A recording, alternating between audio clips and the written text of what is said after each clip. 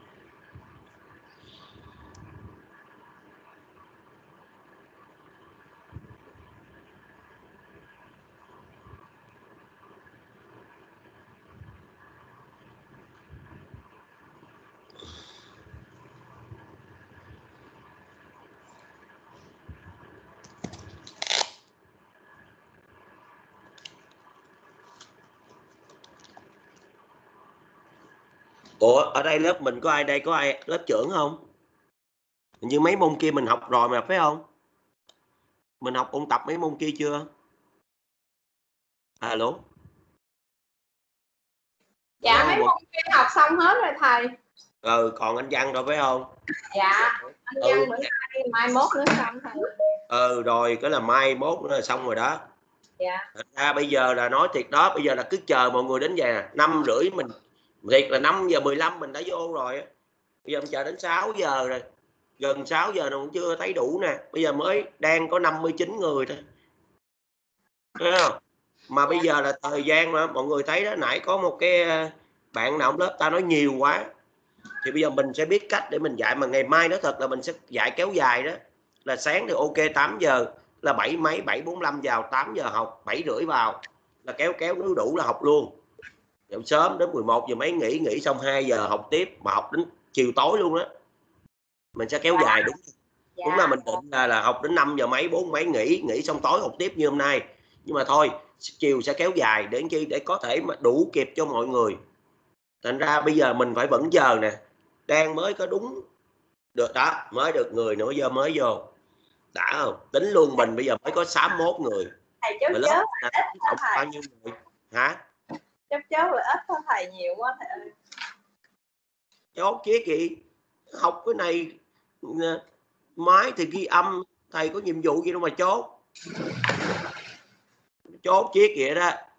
Tôi dạy chỗ nào học chỗ đó xong chốt vậy đó nghe không? Dạ. Ờ hiểu vậy được rồi. Dạ.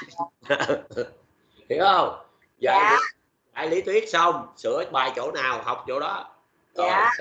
Dạ Ừ. cảm ơn dạ vâng dạ vâng. Rồi vậy thôi được rồi. Được, được hiểu nhau. Hiểu rồi. Nha tại vì cái này học là chúng ta vừa phải có ghi âm nữa nó mệt lắm. Cái dạ này nó cũng mới được. Ừ mọi người cứ vậy mà làm. Bây giờ chúng ta chờ đúng 6 giờ là mình sẽ tiến hành bài nha. Dạ.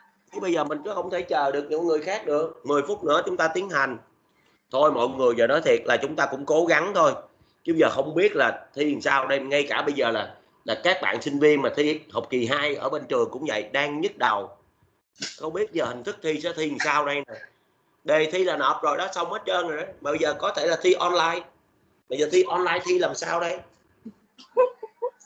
Thấy không? Ví dụ như mình môn mình mà học thi online thi gì? Để là thi vấn đáp hỏi quá cho nem ơi. Đúng không? Hỏi quá cho nem xong cái mai nem nguyễn thị nguyễn thị nguyễn thị liên nguyễn thị thảo là đậu rồi đó vậy thôi chứ sao giờ?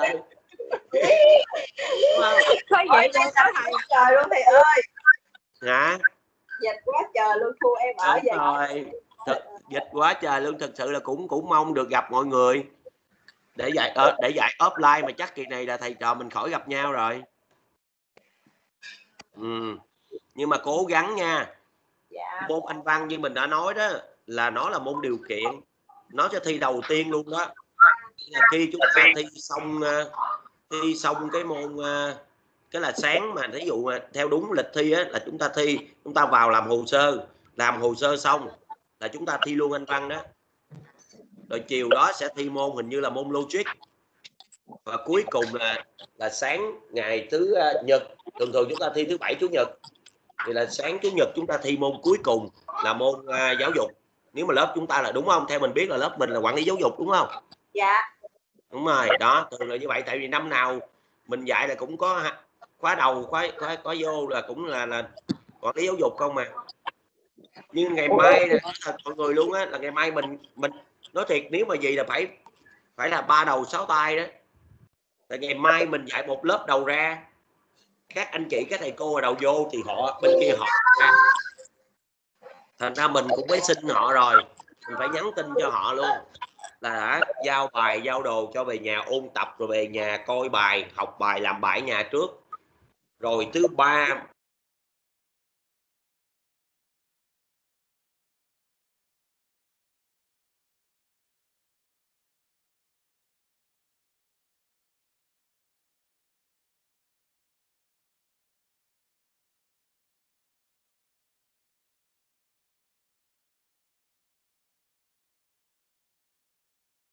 alo mọi người cứ nghe mình nói không à? Dạ nghe thầy ơi. rồi ok.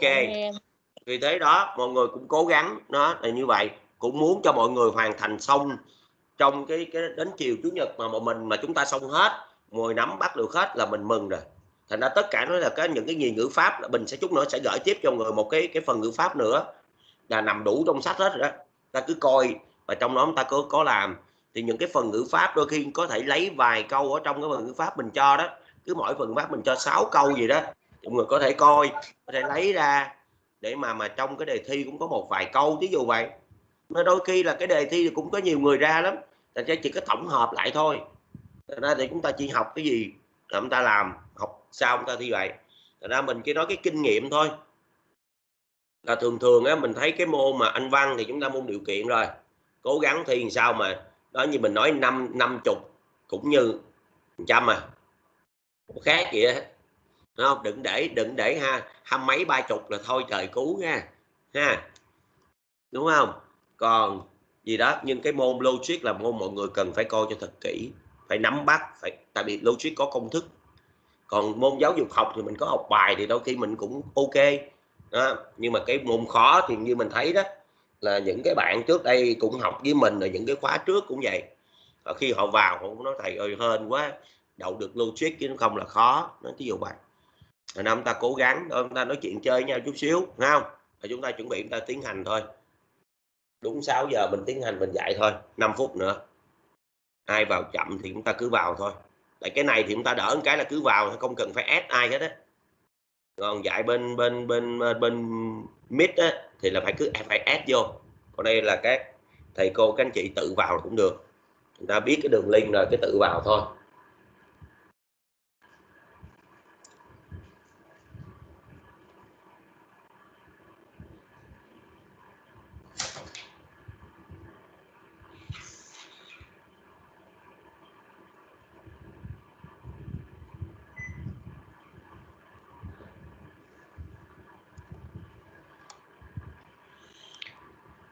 Cố gắng nha mọi người nha.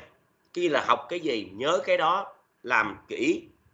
Cố gắng tại vì nói thật nhiều cái này cô cũng có thể các anh chị nói với nhau trời ơi thầy ơi lâu quá rồi tiếng anh nó đi đâu mất tiêu rồi đúng không? Đúng không? Có là tiếng anh nó biết mình mà mình không có biết nó đúng không? Đấy thì bây giờ mình phải học cái cách nào để mình biết nó. Đó, giống như bữa mình dạy cho mọi người cái cái đề thi mẫu cũng vậy. Đấy mọi người có thấy rồi. Ta nhìn vô ta biết cái cách làm chứ không phải ta ngồi ta dịch cái bài đó cái câu đó ta dịch sao ta mới làm. Không có thời gian. Mặc dù mình đi thi mình đến 120 phút lận. Cái này cô chúng ta thi đến 120 phút lận không có ít đâu. Nhưng mà ngồi dịch không có đủ thời gian để dịch đâu à. Mà nói thật cái này cô là không ai đủ thời gian để dịch. Đúng không? À, bản thân mình mình hay dạy mình hay nói là bản thân à, là là là, là tôi cũng không phải là giám đốc trung tâm nghiên cứu dịch thuật mà mình hay giỡn là trung tâm nghiên cứu dịch vật. Không có dịch. Không có nói thật trên đời này không có cái ông thầy giáo nào cái bà giáo nào nói là tôi biết hết tiếng Anh. Điều đó không có.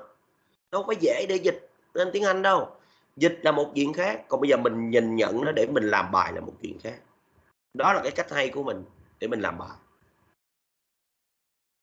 chứ thật sự là mình ờ, ôm ấp ờ, gọi là là hy vọng là là dịch bệnh nó ok ổn để cái lớp mà chúng ta ôn tập á, là mình ôn tập được cho mọi người là cái cái cái offline. Nó vừa dễ học vừa nhanh cho mình mà mình dạy nó cũng thoải mái được. Chứ cái online này nó thật là cố gắng làm sao để cho mọi người hiểu và nắm gọn. Chứ chúng ta không không không có để không có được. Nó thật là hiệu quả như là ôn của ôm offline đâu nhưng hình như là hai môn kia mọi người ôn được offline đúng không? Hầu như là như vậy đúng không? Online không rồi online luôn hả? Dạ. Kỳ này là online hết luôn hả? Online hết trời rồi. Vậy là hấp dẫn rồi.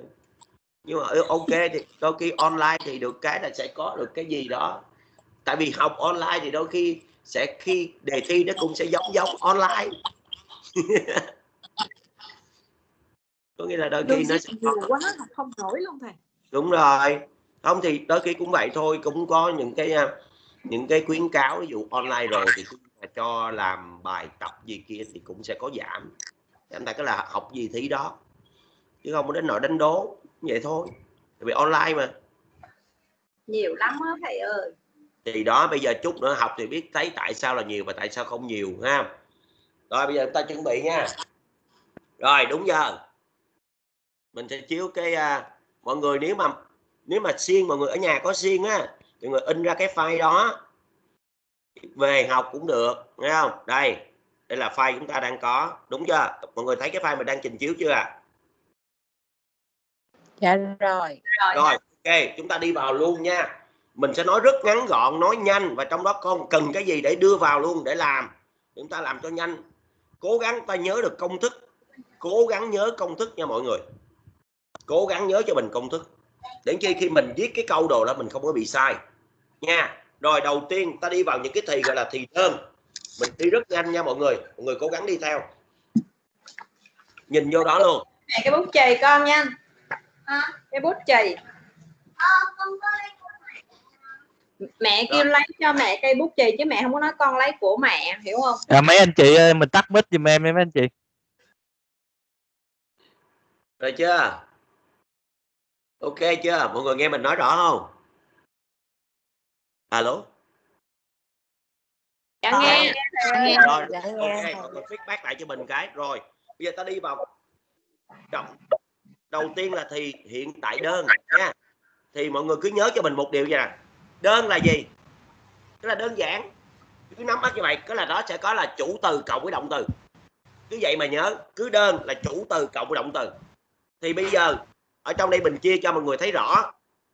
Đối với đối với hiện tại đơn và động từ to be, thì ta có em is a. Đúng chưa? Đó, còn phủ định thì ta thêm not vào động từ to be. Và nếu mà câu hỏi thì ta đảo emia lên. Còn nếu nó là động từ thường, thì ta sẽ có được là gì? Chủ từ cộng với động từ nguyên mẫu. Đó, nó là đơn mà. Chủ từ cộng với động từ nguyên mẫu là sao? Nhưng khi chủ từ là ngôi thứ ba số x tức là he she và x ngôi thứ ba số x nha. He she và it thì ta sẽ thêm s hoặc là es vô động từ. Vậy thôi. Đó, đó vì thế nó là đơn là như vậy. Đơn là như vậy ha. Rồi khi ta làm phủ định thì sao? Thì ta phải mượn. Ta mượn do hoặc là does. Tại vì những cái động từ này nó phải là động từ đặc biệt. Ta, ta không thể thêm not vào nó được. Đúng không? Thì ta phải mượn do và đơ, ta cộng với not và ta đưa động từ về nguyên mẫu. Có là nếu nó đã nguyên mẫu sẵn rồi thì thôi. Nhưng nếu nó có s hoặc là es thì ta phải làm gì? Ta bỏ s hoặc là es đi. Và kia cũng vậy. Thì khi ta có câu hỏi thì ta có, ta đưa do và đơ lên, cộng với chủ từ và cộng với động từ nguyên mẫu, nha. Rồi, thì ở đây ta có những cách dùng của nó, ta đọc nhanh. À thì ở đây, hiện tại đơn mà, ta dùng để diễn tả một cái gì? Một cái hành động, một cái sự việc xảy ra thường xuyên, lặp đi lặp lại hoặc là một cái thói quen. Thì ta có những cái từ như là everyday hay là usually, đó, như vậy chút nữa nó sẽ, chút nữa mình sẽ nói luôn, nó sẽ nằm ở đâu trong cái này. Rồi nó diễn tả một cái sự thật, hiển nhiên một cái chân lý, như vậy, đúng không ạ? Và đôi khi, cái thằng thì này nè, cái thằng số 3 đó, chúng ta có thể nốt lại nhìn ở đây. Là ta diễn tả một cái việc sẽ xảy ra, sẽ nha, cái là nó nằm trong tương lai theo lịch trình và thời gian biểu như là thời gian tàu chạy nè giờ máy bay cất cánh rồi đó thì nó sẽ là thì hiện tại đơn mặc dù nó nói về tương lai. Và trong đây chúng ta có một cái lưu ý nữa nè ta dùng thì hiện tại đơn trong những cái mệnh đề chỉ thời gian tương lai. Thí dụ như mình nói biết á mọi người như vậy nè à, chút nữa khi mình dạy xong các anh chị á Thấy không? Thì mình sẽ ăn tối. Thí dụ vậy cái là bây giờ mình dạy xong chưa? Chưa.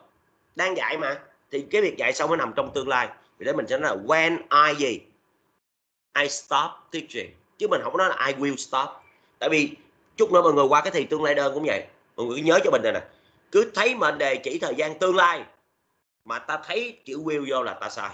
Đó, để chút đến chi? Những cái đó để chi? Ta có thể làm trong cái phần mà nhận định lỗi sai. Thấy không?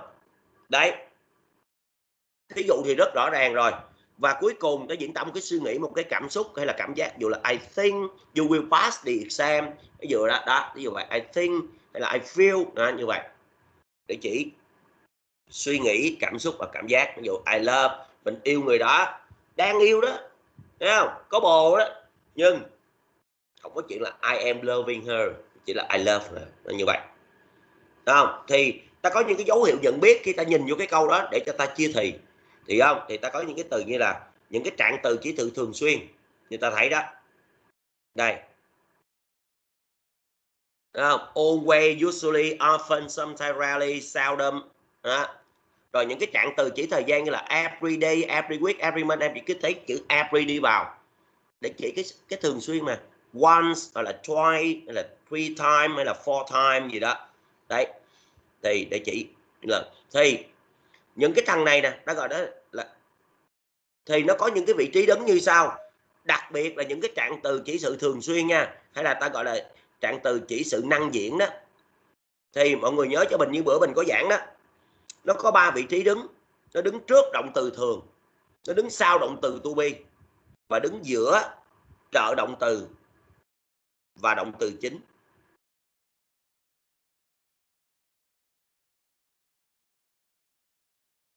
Nha đấy.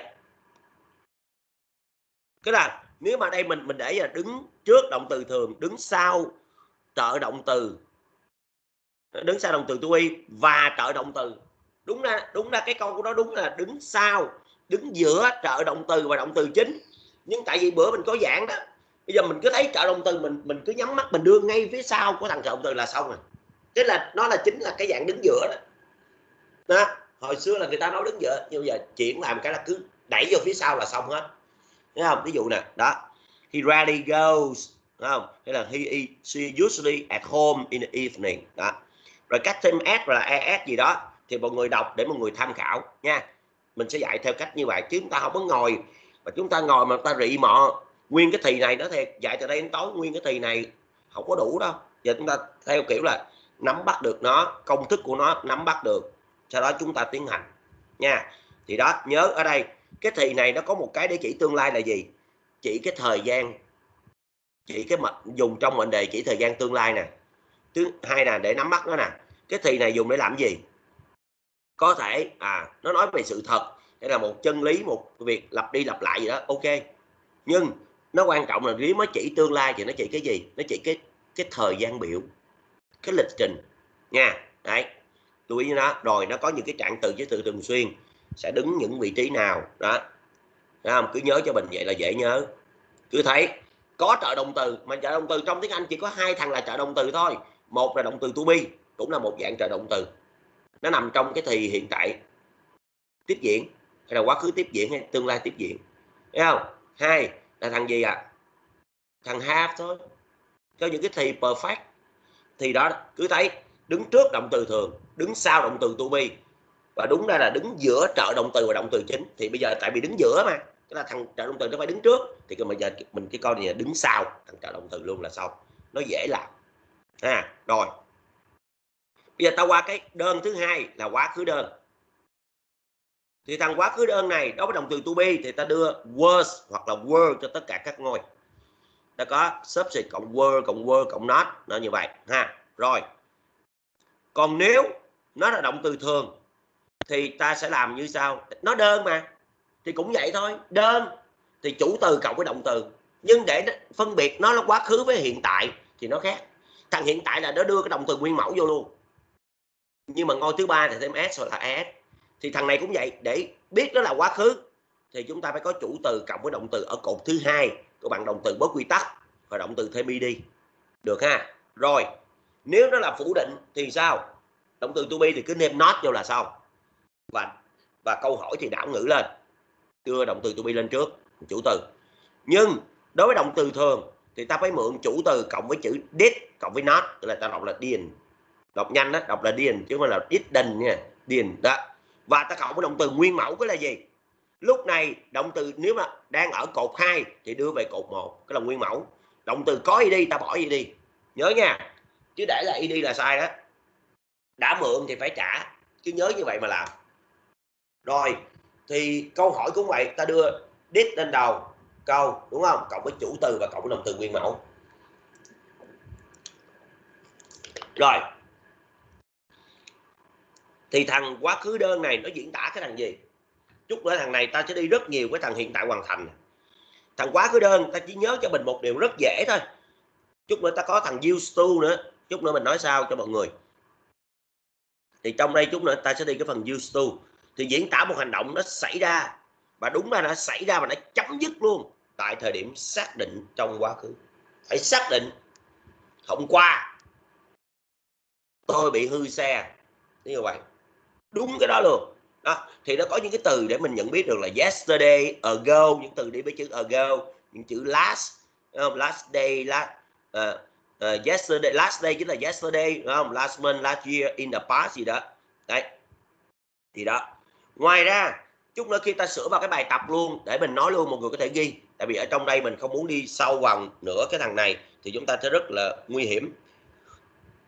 Thì mọi người có cái cấu trúc trong trong quá khứ luôn. Thì cái thằng quá khứ đơn này nó cũng diễn tả một cái hành động một cái thói quen trong quá khứ. Nó vẫn có thể dùng những cái chữ như là often usually nhưng nó đi với thì quá khứ và in the past cái gì đó. Thì cái thằng này thì nó lại có một công thức, nó chính là chữ used to. À ta có chủ từ nghe cho kỹ cho mình nha. Chủ từ cộng với used to và cộng với động từ nguyên mẫu. Thì nó chỉ một cái thói quen trong quá khứ, mà bây giờ chúng ta không có làm nữa. Ví dụ như ai không? Giống như à, một cái người nào đó, một người phụ nữ nói giỡn cho vui không? Không?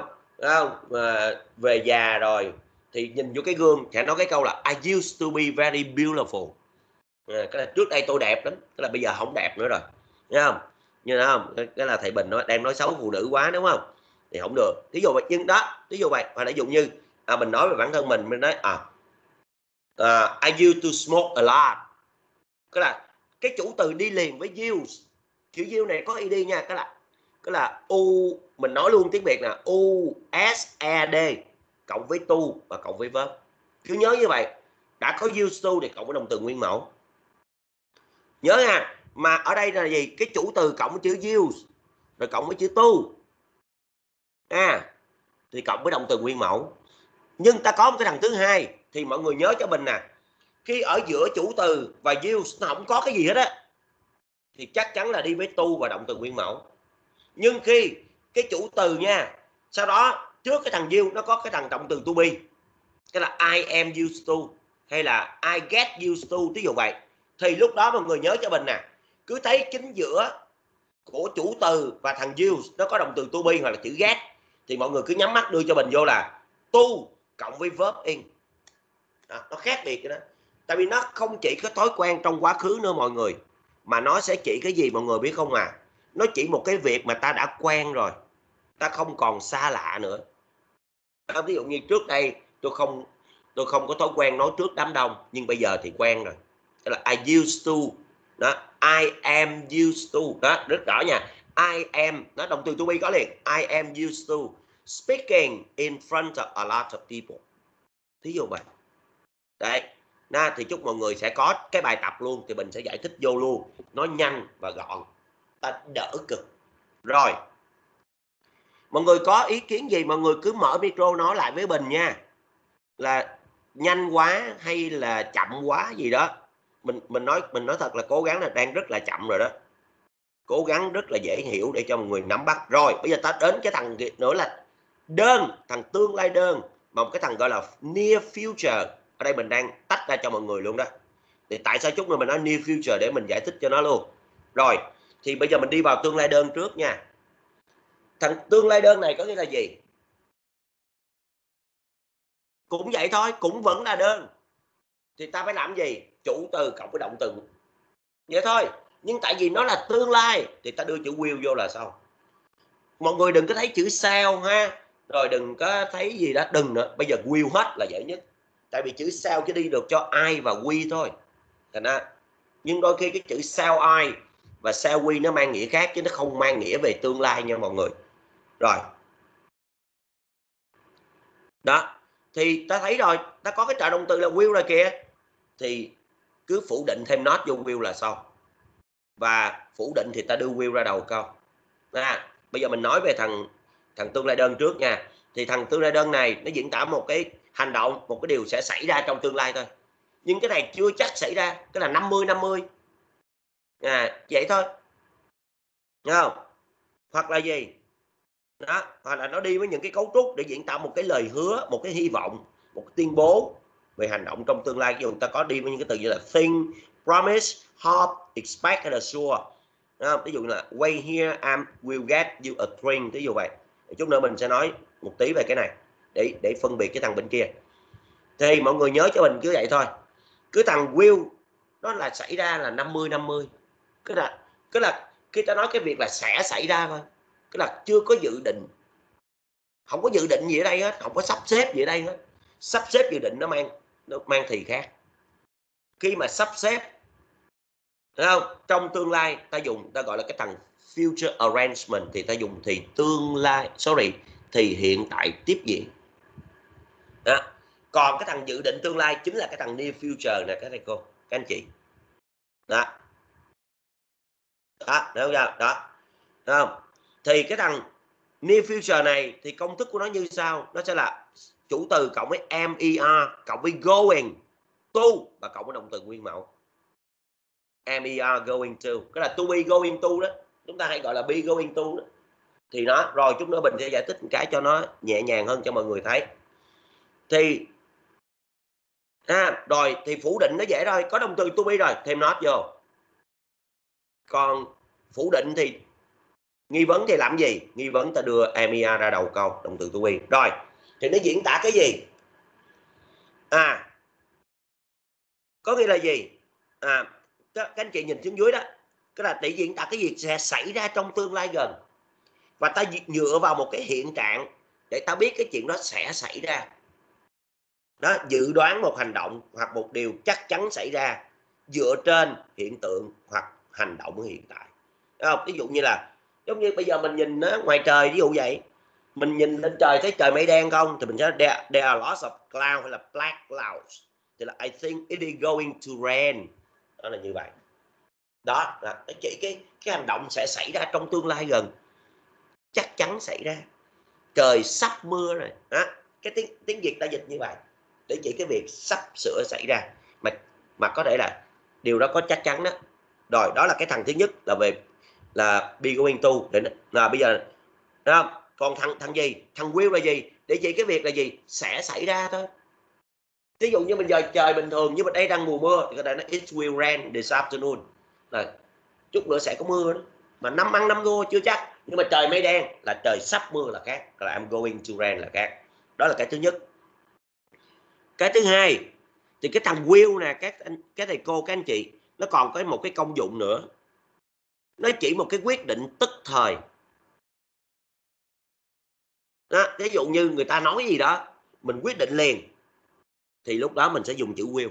Ví dụ như mà nói ôi ơi ôi cái giỏ của tôi nặng quá thì mình sẽ nói ok I will help you. Tôi sẽ giúp bạn. Ví dụ nói my bags are very heavy. Don't worry I will help you. Hoặc là ví dụ như bây giờ mình dạy trên lớp đi. Không? các anh chị thấy mình nói quá trời rồi mình khát nước mình nói oh I'm thirsty. Ví dụ vậy. Thì các anh chị sẽ nói câu là I will get you something to drink. À, tức là trước đó các anh chị không có cái quyết định đó nhưng khi mình nói cái câu là tôi khát nước thì các anh chị đi tôi sẽ làm. À, cái đó ta chỉ cái will là cái quyết định ngay lập tức.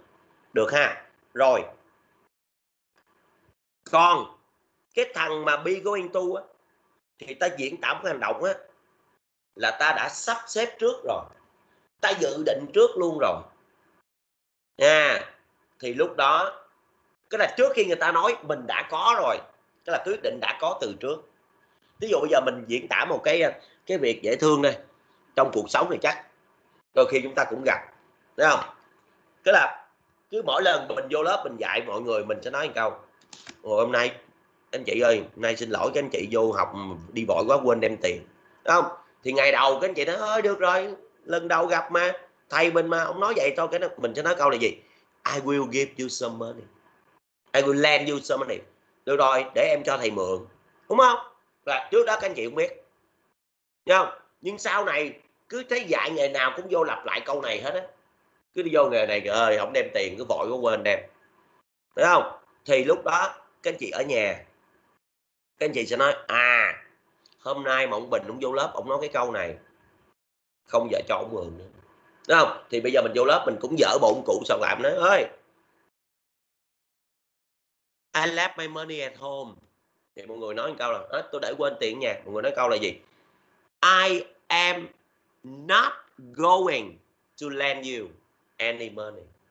Tôi không cho thầy mượn nữa đâu. Cái là cái quyết định đó mọi người đã làm từ trước luôn rồi. Đó, đó, nói một cái cái, một cái ví dụ để cho mọi người dễ hiểu như vậy. Cái thằng will là quyết định tức thời, còn thằng be going to là quyết định mà ta có từ trước. Hoặc là thí dụ như bây giờ, mình nói một một một cái à, cái chuyện khác đi. À thí dụ như mình đang ở nhà, thì con gái đi học về, con gái nói, ba ơi, xe con hư rồi. Thì mình nói, ok, ba đang dạy mà, mai ba sửa cho. Đúng không? Vậy thì cái quyết định ngày mai sửa xe có lúc nào? Có sau khi con mình nói. Đúng không? Cái là, I will repair your bicycle tomorrow. Cái là, I will. Tại vì trước đó mình không có quyết định sửa xe ngày mai. Nhưng mà tại vì con mình nói xe hư thì mình quyết định liền. Quyết định ngay tức thời là will. Nhưng không? Rồi giờ mình giải tiếp, xong chút nữa vợ mình xuống, vợ nói, trời ơi, anh, xe con hư rồi. Sao anh không không làm gì hết đi? Thì lúc đó mình nói cái câu là gì? Thay vì mình nói will nữa, mình nói là gì? I am going to repair it tomorrow. Tại vì khi mà vợ mình hỏi mình về chiếc xe thì mình đã có quyết định sửa xe chưa? Rồi. Thì đó là chúng ta để phân biệt giữa thằng will và thằng be going to là như vậy. Ngoài ra cái thằng be going to nó còn diễn tả một cái gì như nãy mình nói đó. Tiếng Anh nó gọi là future intention để diễn tả một cái sắp xếp trong tương lai. Ví dụ như mình nói à thật sự nói thật các anh chị á, dịch bệnh chứ tôi cũng đang buồn lắm.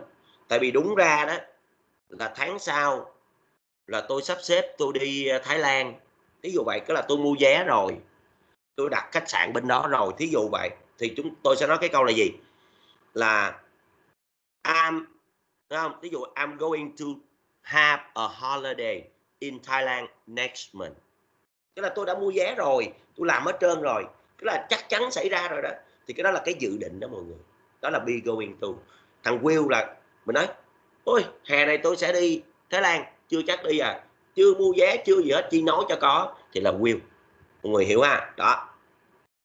Đó là về ba thì đơn, mọi người ha? Và có phân biệt giữa used to cho cái thằng quá khứ đơn. Thì cứ nhớ cho mình như này cứ thấy chủ từ mà có used to thì đi với động từ nguyên mẫu để chỉ cái thói quen trong quá khứ. Nhưng ta thấy cái chủ từ rồi trước cái used to nó có động từ to be hoặc là get, thì chắc chắn ta đi với verb in để chỉ cái thói quen. Cái việc đã không còn, cái không còn là để chỉ cái việc mà chúng ta đã quen với cái chuyện gì rồi, ha? Cái đó không còn xa lạ với mình nữa. Còn thằng will thì đó, chỉ cái việc sẽ xảy ra. Nhưng thằng be quen tu là gì? Cái việc dự định sẽ là, đó. ngoài ra thằng will chỉ cái gì? Thằng will chỉ cái quyết định tức thời thằng bi của anh tu chỉ quyết định ta có từ trước. Rồi chút nữa ta có thằng quá khứ đơn á, để ta phân biệt với thằng hiện tại hoàn thành rất hay nè. Thằng quá khứ đơn nãy mọi người nhớ nha xảy ra và chấm dứt tại một thời điểm xác định trong quá khứ. Nó không có kéo dài đến hiện tại nữa nó xảy ra và chấm dứt luôn. Rồi thì trong cái thì tương lai ta hay có những chữ như là tomorrow tonight next đúng không à in the future đó rồi. Giờ ta qua cái thì tiếp diễn mọi người cứ nghe cho mình chữ tiếp diễn. Thì bắt buộc trong thì tiếng Anh, cái gì mà tiếp diễn thì bắt buộc phải có am y sorry, có động từ to be đi với verb in. Cứ vậy mà làm cho mình cứ thấy tiếp diễn, bắt buộc là động từ to be đi với verb in. Nên mình không có bị sai. Rồi, bây giờ mọi người nhìn cho mình hiện tại tiếp diễn, chia động từ to be ở hiện tại là xong. Cái là chủ từ cộng với am er verb in là xong thì động từ to be là trợ động từ rồi đó. Thì phủ định là thêm not vô. Còn không, nghi vấn thì ta đưa MBA ra đầu câu và giữ lại bình thường, ha. Rồi, vậy thì ta thấy không? Vậy thì khi ta nói về quá khứ tiếp diễn được không? Được. Was were verb in sao? Đó cũng là be cộng với verb in thôi, nhưng quá khứ mà. Thành ra là was were verb in vậy thì tương lai tiếp diễn có không? Dễ dàng luôn. Động từ to be chia tương lai đi. Will be verb in sao? Cứ vậy mà làm cho mình. Cứ thấy tiếp diễn là phải có động từ to be và đi với verb in. Được ha? Rồi, ta diễn tả cái hành động xảy ra ngay đang thời điểm nói nè. Tức là bình đang nói, các thầy cô, các anh chị đang nghe. Bình đang giảng bài, các anh chị đang ghi bài. Ví dụ vậy đúng không ạ? À? đấy. Rồi, nhưng cái thằng thứ hai á, với thằng số 3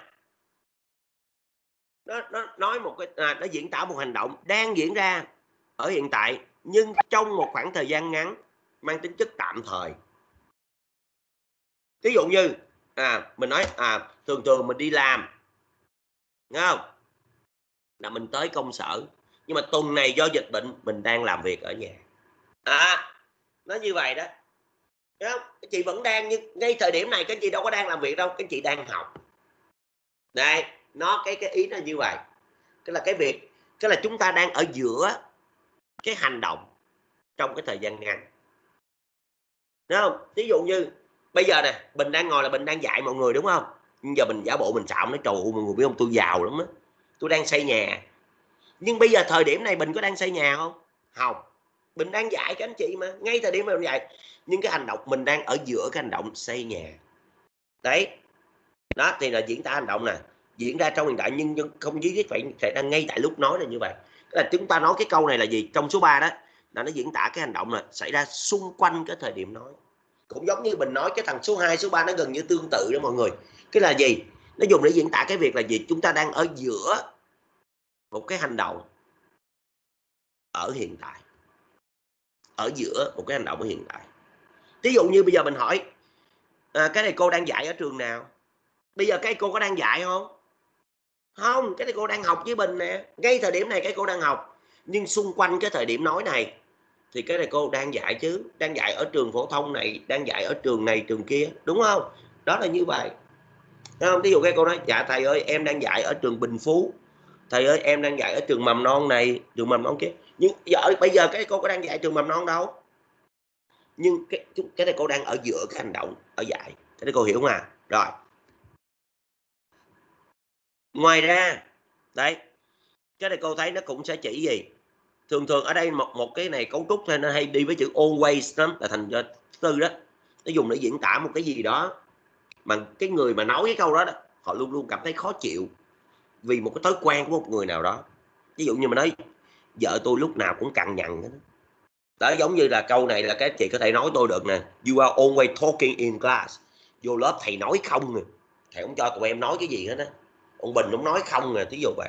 Đó, là cái cái này cô đệm chữ always vô, để chỉ cái gì? Để chỉ cái việc mà mình không thích. Thì tiếng anh nó có cái ngầm hiểu như vậy thôi, nhưng cái này ngữ pháp này chúng ta không có làm đâu, nhưng tại vì đúng không? Rồi, và cuối cùng, số 5 đó, như nãy mình nói cái này cô đó. Nó chỉ cái thằng gọi là future arrangement. Chỉ cái gì? Cái sắp xếp tương lai. Ví dụ như mình nói à ngày mai tôi sẽ vào trường hay là ngày mai tôi sẽ dạy các anh chị, thì ngày mai đúng 8 giờ tôi sẽ dạy cái phần này. Rồi đến 10 giờ tôi dạy cái phần này. Thí dụ vậy. Thì ai, lúc đó mình sẽ nói là I am teaching cái gì đó. I am teaching cái gì đó. Mặc dù đó là ngày mai, nhưng tại vì nó đúng theo cái thời khóa biểu. Mình sắp xếp trong ngày mai là sẽ 9 giờ sẽ dạy cái đó 10 giờ dạy cái đó. Được không ạ? À? thì đó chính là nha là cái cách dùng của thằng hiện tại tiếp diễn. Được chưa mọi người? Cứ nhớ tiếp diễn cứ làm be cộng với verb in cho mình là xong. Rồi giờ quá khứ tiếp diễn. Rồi vậy thôi. Ta dùng cái thằng quá khứ tiếp diễn. À, rồi thì đó công thức quá khứ tiếp diễn rất dễ. Nhìn vô. Chủ từ cộng với động từ to be đâu? Đưa word vô. Hoặc là word cộng với verb in là xong. Cứ vậy mà làm. Cứ thấy tiếp diễn là be cộng với verb in. Mà quá khứ thì là was were verb in. Đấy. rồi, thì chúng ta diễn tả cái thằng này làm gì diễn tả một cái hành động đã đang diễn ra tại một thời điểm cụ thể trong quá khứ ví dụ mình nói, tối qua tôi đi xem phim Đúng không cái là, I went to the cinema last night nhưng, cụ thể hơn nè, at 7:30 p.m yesterday, I was watching the film nhưng mà lúc 7 giờ 30 tối qua, tôi đang xem bộ phim đó mà? Yesterday là đã xác định rồi nhưng mình có một cái khoảng thời gian xác định còn cụ thể hơn nữa Đúng không? giống như ta, là she was watching TV Đúng không? lúc 6 giờ chiều hôm qua hôm qua đã xác định rồi, nhưng nó là quá khứ đơn nhưng mà 6 giờ chiều là rõ ràng hơn nữa, thì nó sẽ là đang làm cái chuyện đó thì là tư là quá khứ tiếp diễn ha. Rồi. Hoặc là đôi khi cái thằng quá khứ tiếp diễn này nó hay đi cùng với nhau đi với chữ why để chỉ cái hai hành động sẽ ra cùng một lúc. Lúc đang gì thì người ta lúc tôi đang làm đó thì cô ấy đang làm cái kia đúng không ạ? À? rồi và cái thằng thứ ba đó nó dùng nó cũng đi nhưng cái nó nó, nó đi với một thằng quá khứ tiếp diễn khác còn cái thằng thứ ba này, cách dùng của nó nó dùng giật, nó dùng được dẫn diễn tả một hành động đang xảy ra, thì hành động khác cắt ngang. Thì lúc này nó dùng với thằng quá khứ đơn. Thằng hành động đang xảy ra là quá khứ tiếp diễn, còn hành động cắt ngang là quá khứ đơn. Được chưa mọi người? Ok ha. Đấy, đó là cái cách dùng. Mà ta nắm, chút nữa vô bài tập mà làm luôn. Kế tiếp, chúng ta sẽ đi đến thằng tương lai tiếp diễn rồi đã có tiếp diễn will will be verb in xong. Đó, chủ từ đó không? Cộng với sao cộng với will be verb. Nhưng mà để chứ sao vậy thôi chứ bỏ đi đừng dùng. Rồi cũng vậy thôi. Đúng không? Thì ta nhấn mạnh cái gì? Một cái sự sắp xếp trong tương lai một cái việc đang diễn ra tại một thời điểm trong tương lai thôi dễ lắm. Nè bây giờ các anh chị thấy nôm na dễ dễ làm nè. Hành động đang diễn ra ngay tại hiện tại hiện tại tiếp diễn. Hành động đang diễn ra tại một thời điểm trong quá khứ quá khứ tiếp diễn. Hành động đang diễn ra tại một thời điểm trong tương lai tương lai tiếp diễn. Và cách sử dụng thứ hai là gì? Ta nhấn mạnh cái tính liên tục thôi, trong cái khoảng thời gian nào đó. Tức là không có cần nói như vậy thôi, tại vì cái này trong cái sách ngữ pháp nó đề ta chỉ cần là gì? Cái việc này nó đang diễn ra tại một thời điểm xác định trong tương lai. Được chưa à đó là thì tương lai tiếp diễn. Ngoài ra, tương lai tiếp diễn nó còn để chỉ một cái việc là, nó chỉ một cái việc là chúng ta cũng là một cái việc sắp xếp trong tương lai. Ta dùng để chỉ một cái sắp xếp trong tương lai, hoặc là đôi khi một cái dự định trong tương lai cũng được. Đó là có thể dùng cho, nếu mà để sắp xếp hoặc là dự định tương lai thì nó có thể dùng cho thằng hiện tại tiếp diễn đó. Nó nó cũng một dạng giống. Hoặc là nó có thể dùng thế cho thằng bi going to cũng được mới là không. Rồi, bây giờ đến cái thằng thì. Mà thì này là cái thằng thì chúng ta hay gặp nhiều nhất là thì hiện tại hoàn thành. Rồi, cái này cô cũng nhớ cho mình một điều. Cứ thấy cái gì mà đi mới hoàn thành nha. Cứ gì mà hoàn thành thì mọi người cứ nhắm mắt đưa chân cho mình là have cộng với động từ cộng với past participle. Là quá khứ phân từ. Cái động từ ở cột thứ ba hoặc là động từ thêm đi đó. Nhớ nha. Cứ cứ thấy cái gì mà đi với cái từ chữ perfect? Đó, cái gì đi với simple là cứ chủ từ cộng với động từ thôi. Còn cái thằng gì đi với chữ continuous là tiếp diễn, Thấy không? Đơn này vậy. Rồi, tiếp diễn là gì? À thì là be cộng với verb in. Và cuối cùng là perfect, thì ta là subject cộng với have và cộng với past participle. Vậy thì hiện tại tiếp diễn công thức của nó sẽ là gì? Là have hoặc là has cộng với past participle là xong. Has là khi nào? Has khi là chủ từ là ngôi thứ ba số ít thôi. Vậy thì nó có trợ động từ chưa? Rồi. Trợ động từ là have và has rồi đó. Thì ta cộng với not là xong. Và động từ ta giữ nguyên. Này không có đổi. Đó, ta có trợ động từ rồi. Và nếu mà nghi vấn thì ta đưa have has lên đầu câu. Ha mọi người ha. Rồi. Thì đó thằng này nó hay đi làm mà trong những cái bài chúng ta làm đó chúng ta sẽ có rất là nhiều. Là nó đi với thì à, thằng à, quá khứ đơn. Thì nó phân biệt.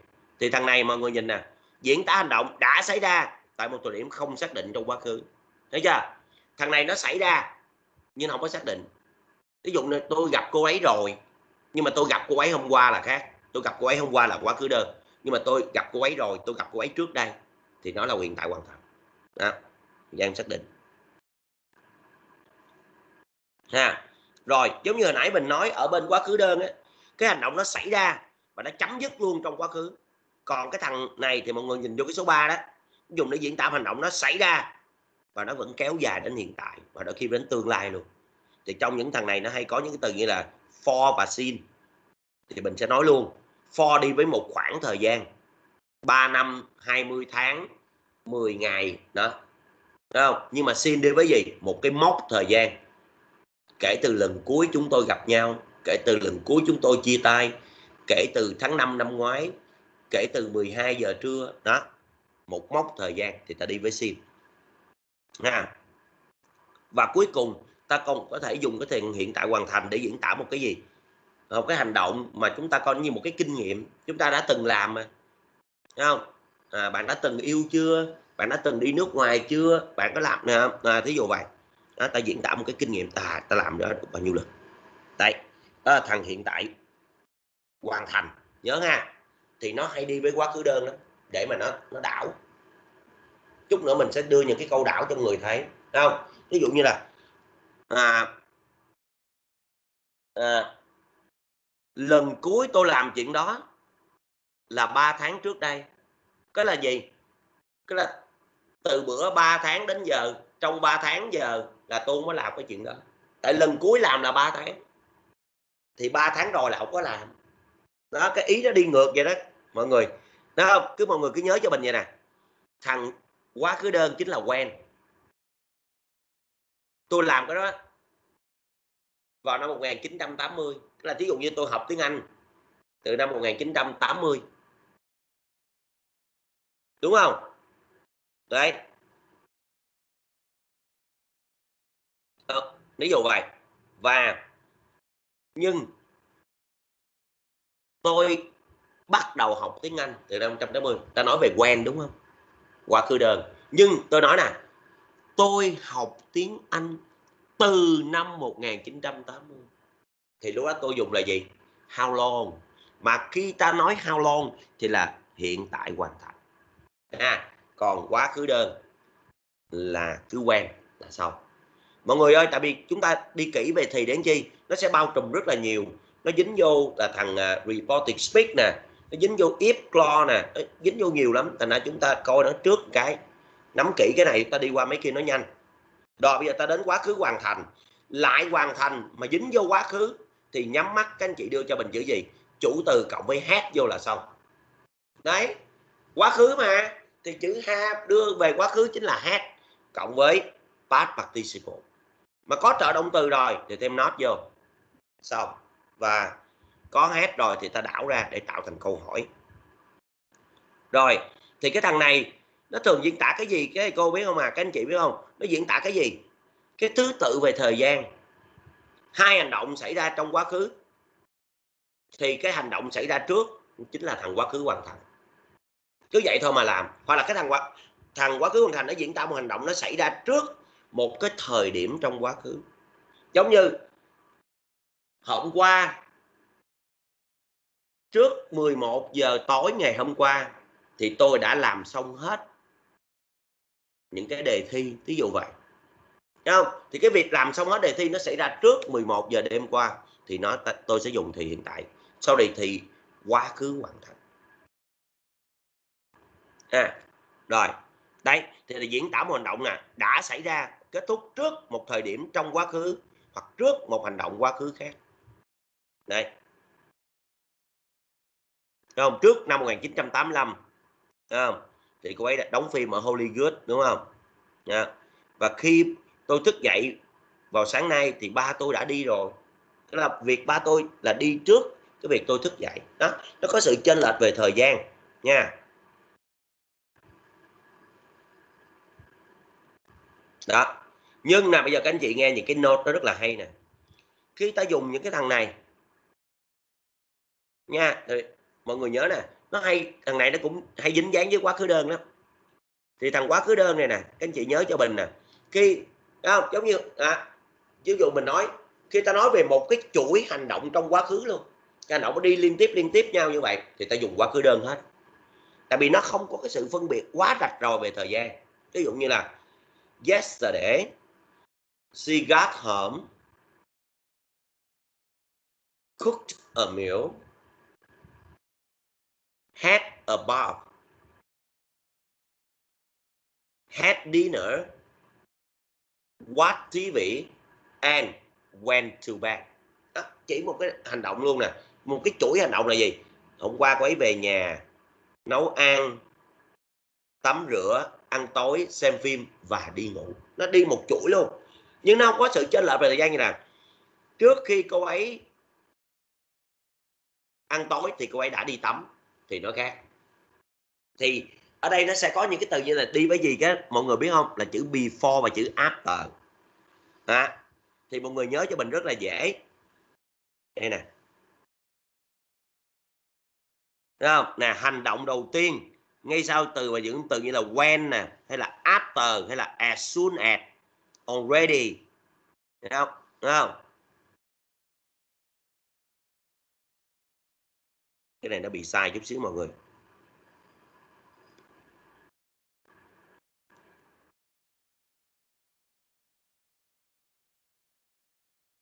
Rồi, thì chúng ta sẽ dùng với thì. Rất là dễ. Là chúng ta sẽ dùng với thì quá khứ hoàn thành tại vì sau cái chuyện đó mà, sau cái đó, ví dụ như là sau khi tôi uống sữa xong tôi đi ngủ, là cái việc uống sữa xong là trước đúng không? Còn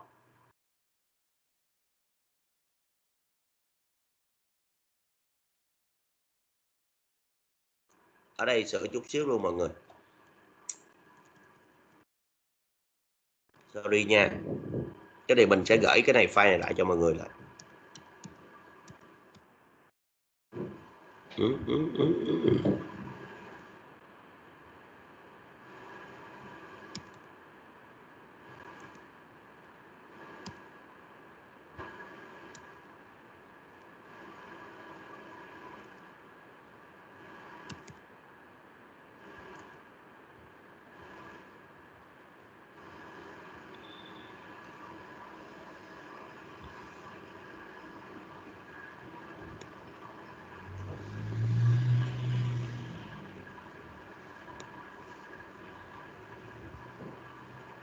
Rồi, thì ở đây.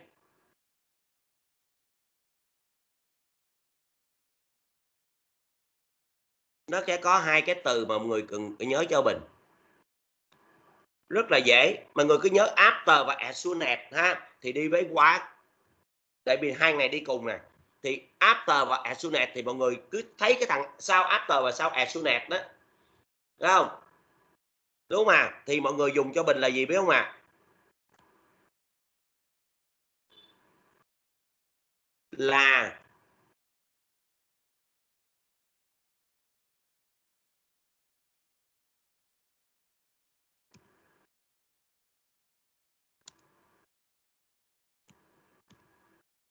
rồi.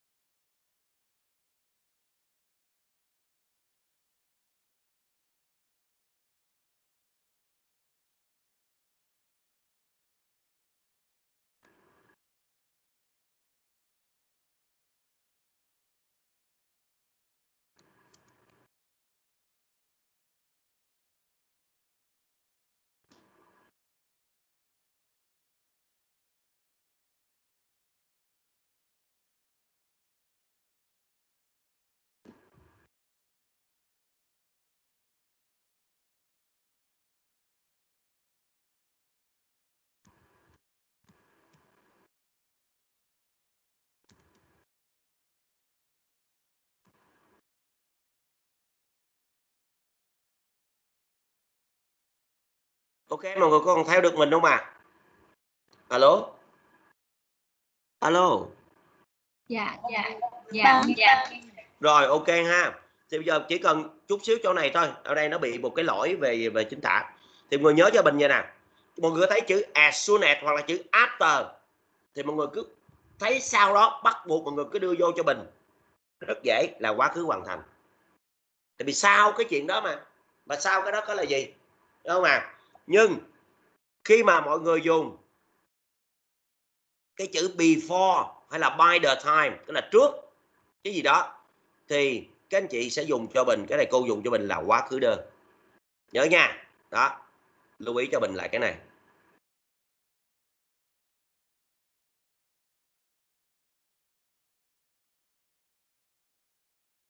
Rồi, giờ chúng ta sẽ đi qua cái, một cái thì nữa, là thằng tương lai hoàn thành.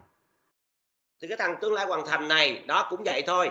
Ta sẽ đưa will cộng với ha và cộng với past participle cho mình là xong. Cứ nhớ cho mình như vậy, cứ thấy hoàn thành. Không? Mà tương lai thì là will have cộng với past participle. Mà có will rồi, thêm not vô nó. Cứ vậy thôi mà làm.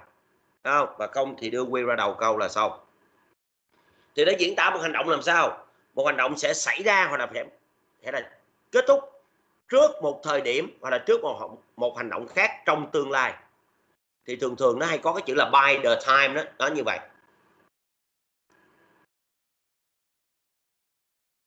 Đó, là we shall have finished our tennis game by six Đúng không? như vậy, trước 6 giờ thì tôi sẽ hoàn thành cái game. Đó là ba cái thì về hoàn thành. Bây giờ chúng ta sẽ qua là hoàn thành và tiếp diễn à, thì lúc này ta nghe chữ hoàn thành thì nó phải có have và nó phải có tiếp diễn thành ra chúng ta sẽ chia. Rồi thì đây đúng ra ta chỉ cần lưu ý đến nói nói sơ thôi chứ đúng ra chúng ta chỉ cần lưu ý được cho thằng là hiện tại hoàn thành tiếp diễn thôi để nó đi với thằng quá khứ để, để đi với thằng à, hiện tại hoàn thành. Thì hiện tại hoàn thành tiếp diễn công thức của nó sẽ là gì? Đó hoàn thành mà hiện tại là have mà hoàn thành phải đi với past participle vậy ta chia động từ to be ở past participle đi chính là been mà cần trí nợ thì phải đi với verb in thì ta có be với verb in thành ra ta có công thức của nó là gì? Chủ từ cộng với have cộng với has, cộng với been và cộng với verb in đấy. Mà có cả động từ rồi, thì thêm not phủ định ta thêm not vô. Ngay chữ have và has là xong. Và ta đưa have và has ra đầu câu để tạo thành câu hỏi. Đó cho nó diễn tả cái gì? Nó diễn tả diễn tả một hành động nó xảy ra trong quá khứ và nó kéo dài liên tục đến hiện tại và tương lai. À, cái này nó nhấn mạnh cái tính liên tục thôi. Đấy.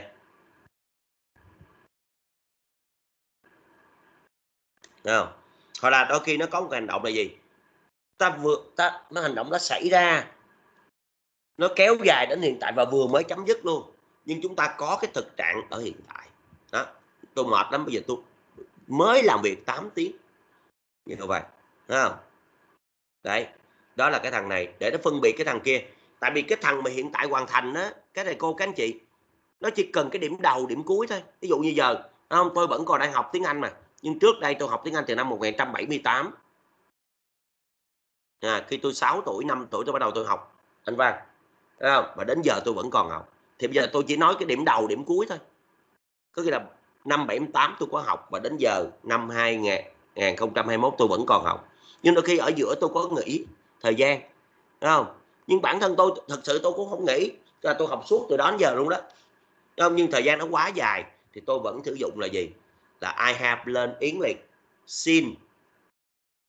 Mặc dù I have been learning English cũng được, nhưng nó không có hay tại vì những cái thằng mà hiện tại hoàn thành tiếp diễn này nè, các anh chị, nó sẽ dùng cho khoảng thời gian nó ngắn thôi thời gian dài quá nó nên dùng là hiện tại hoàn thành thôi. Rồi, thằng quá khứ hoàn thành tiếp diễn cũng vậy. Ta có chủ từ cộng với quá khứ mà, là had. Rồi đi với past participle đi, là been. Và đi với verb in, là had been, verb in, là xong. Nhớ cái thì nha mọi người. Nhớ cái công thức dùm cho mình. Rồi, diễn tả hành động sao? Nó xảy ra, nó kéo dài liên tục. Và nó chấm dứt trước một cái thời điểm trong quá khứ, hoặc là trước một cái hành động quá khứ khác. Ví dụ như mình nói à ví dụ hôm nay trời mưa nè đúng không? Thì mình nói à trước khi tôi nhìn ra ngoài cửa sổ thì trời mưa, sau đó trời tạnh. Đúng không? Thì mình sẽ nói gì? Nó sẽ phân biệt được hai cái câu nè. Ví dụ như giờ bên nhà mình đang mưa đi, thì mình sẽ nói câu là, khi khi tôi nhìn ra ngoài cửa sổ, trời đang mưa. Mình đang nói về quá khứ hoàn thành, ở xì quá khứ đơn và quá khứ tiếp diễn tức là when I look out of the window. Đúng không? Là cái hành động cắt ngang. Và trời đang mưa là gì? It's was raining. Ví dụ vậy, mình đang nói về, mặc dù đây là hiện tại nhưng mà mình nói về quá khứ đó. Cái việc là khi tôi nhìn ra ngoài cửa sổ là mình cắt ngang cái hành động trời đang mưa. Nhưng cái việc mình đang muốn nói là gì? Trời mưa rồi. Mưa liên tục. Tức là mưa tầm tã và chấm dứt rồi sau đó mình mới nhìn ra ngoài cửa sổ. Thì đó mình mới dùng quá khứ hoàn thành. Tiếp diễn. Cái là when I looked out of the window, it had been raining. Và câu đó tiếng Việt dịch rất là hay. Là khi tôi nhìn ra ngoài cửa sổ, trời đã tạnh mưa. Khi ta có chữ tạnh cái là gì? Là trời mưa rồi, kéo dài và chấm dứt đó là như vậy. Và cuối cùng thì tương lai hoàn thành tiếp diễn, nó dùng để diễn tả cái gì? Cũng nhấn mạnh cái tính liên tục thôi, thì nó diễn tả một hành động nó xảy ra. Nó sẽ xảy ra trong bao lâu? Trước một hành động quá khứ khác. Sorry, trước một hành động tương lai khác, hoặc là trước một cái thời điểm trong tương lai. Nghe không? Nghe không? Có là trước 10 giờ thì tôi sẽ đang ngồi trong cái hội thảo rồi đó. Nghe không? được bao nhiêu lâu đó ví dụ vậy không? thì ở đây mình có những cái bài tập cho mọi người nhưng mọi người không cần nhìn đâu. Tại vì đó có những câu đó dụ không? Đó. Nè diễn tả cái thói quen nè. Thì đáp án là has mình để về đeo 10 cố gắng à, để coi. Ví dụ vậy. À ví dụ nè thì nè không? Câu 3 nè không? Sống ở thành phố này được 20 năm thì là gì? Hiện tại hoàn thành. Đấy thấy không? Rồi nè năm 1946 quá khứ rồi thì chia quá khứ là was built ví dụ vậy đúng không? Từ đó đến giờ gặp cô ấy chưa? Là have you met her? Đó, những bài tập này cho chúng ta làm thêm thôi. Được ha? Bây giờ mình sẽ qua những cái gì dính dáng, vô những cái phần ngữ pháp luôn. Đó là về thì nha mọi người. Mọi người cố gắng coi chút nữa ta sửa bài tập về thì luôn. Giờ đâu mình đã đi vào đây trước cái đã chút xíu. Về, bây giờ ta đi về mệnh đề if nè. Thì mệnh đề if này luôn luôn có hai vế, cái là hai mệnh đề đó một là mệnh đề if, hai là mệnh đề chính. Nhớ nha, mệnh đề if và mệnh đề chính. Mệnh đề if là gì? Mệnh đề nó có chữ if. Và nó có những chữ như là but if hay là as long as hay là unless gì đó. Ta sẽ có mở rộng nó sau.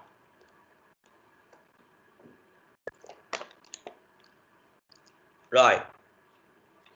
Thì cái loại số không á ít bao giờ ta ta ấy. Tại vì cái này nó cũng là một dạng mệnh đề if, nhưng mà đây này mình để có thiệt tiếng anh gọi là mệnh đề chỉ sự thật.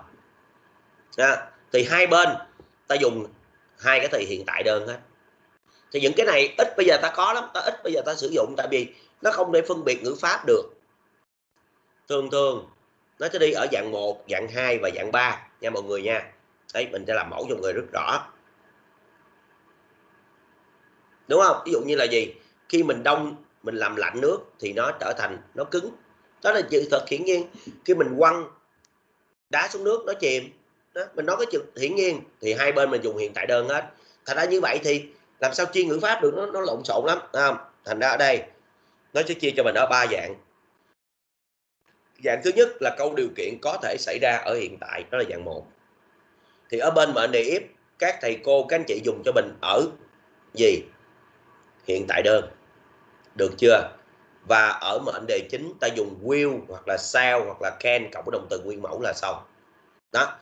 Đôi khi nó làm gì? Bên đây nó cho mình là will, shall và can cộng với động từ nguyên mẫu, thì mình phải suy luận ra ngược lại. Bên đây là phải dùng hiện tại đơn. Nhưng bên kia, đôi khi nó cho mình, mệnh đề if nó cho mình hiện tại đơn rồi, thì bên đây mình phải cho là will cộng với verb nguyên mẫu. Nó như vậy. Được ha? Đấy, giống như nếu mà các thầy cô, các anh chị mà học hành siêng năng thì chúng ta sẽ đậu kỳ thi thôi. Như vậy, đó là dạng thứ nhất nha. Dạng thứ hai nè, chúng ta nghe kỹ, chúng ta hay bị sai cái này lắm. Cái là gì? Cái dạng thứ hai là câu điều kiện không có thật hoặc là trái với sự thật ở hiện tại. Cái là gì? Cái sự thật nó nằm ở hiện tại, ta phải lùi xuống. Ví dụ như là tôi là đàn ông, nhưng mà thì nói nếu tôi là phụ nữ thì là if I were a woman. Đấy, thì lúc này ta có công thức luôn. Ở mệnh đề if, thì đây mình sẽ nói sơ lại ha, thì ta dùng các mọi người thấy không? Động từ ở cột thứ hai động từ thêm đi. Và bên kia thì ta dùng gì? Là chủ từ cộng với good nè, cộng với should nè, hay là cộng với could và cộng với verb. Đấy.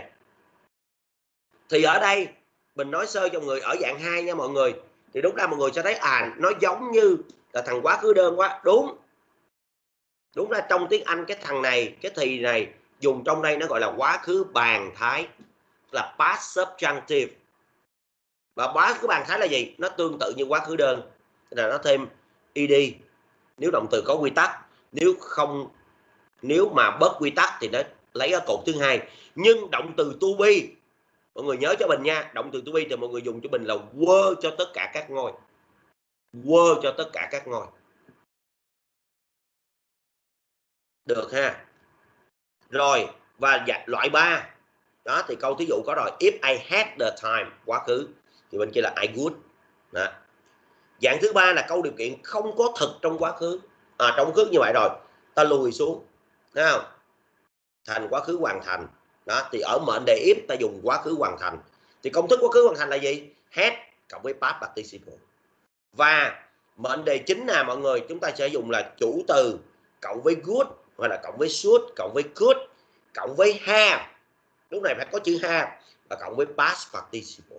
Nó có công thức hết, là khi ta đưa vô là ta đó if you had studied harder, you would have passed the examination. Rồi, thì ở đây, ta có những cái dạng wish. Đấy ta diễn tả một cái mong ước mà nó không có thực ở hiện tại, thì ta sẽ sử dụng là gì? Đó, ta lấy, ta có một cái chủ từ, ta cộng với chữ wish. Rồi, ta đi với một cái chủ từ thứ hai, hoặc là đôi khi nó có thể trùng chủ từ, và ta đi với past subjunctive là ta đưa thì quá khứ vô.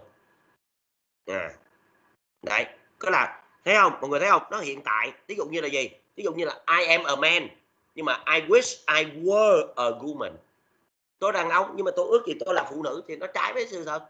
Ví dụ vậy đó. Cái là gì? Ví dụ không? I wish I knew the answer to this question. Cái là sự thật là gì? Mình không có biết. Thì giờ mình ước gì mình biết. À, rồi. Thứ hai nếu mà cái điều ước nó trái với sự thật trong quá khứ đó thì mọi người làm cho mình rất là dễ. Mọi người cứ làm rất dễ. Mọi người sử dụng là chủ từ cộng với động từ nguyên mẫu. Sau này cộng với wish cộng với đát cộng với chủ từ và cộng với quá khứ hoàn thành cho mình. Mọi người đừng có khỏi, khỏi dùng là cướp have cộng với past participle chi. Được nhưng mà thôi không cần. Cái này nó là mở rộng của ngữ pháp mới. Ha thật ra chúng ta không cần đâu. Nha. Rồi đó mọi người chú ý cho mình ở cái quiz 1 và quiz 2 thôi. Còn cái quiz thứ ba không cần cái wish thứ ba cũng là wish in the future. Cái wish in the future, nó cũng là cái dạng wish in the present thôi.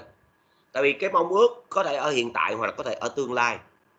Nó thí dụ là, I wish you could come to the party tonight. Nè đó.